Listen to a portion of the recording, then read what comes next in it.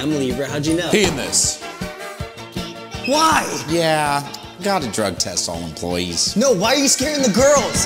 If your boss wants to test you, first you need to know this. It matters where you live. Some states have rules on when employers are allowed to, like only if your job is safety sensitive, you've been involved in an accident at work, or they have reason to suspect you of using illegally. Fine, I won't drug test you. You didn't have a shot with that girl anyway, dude.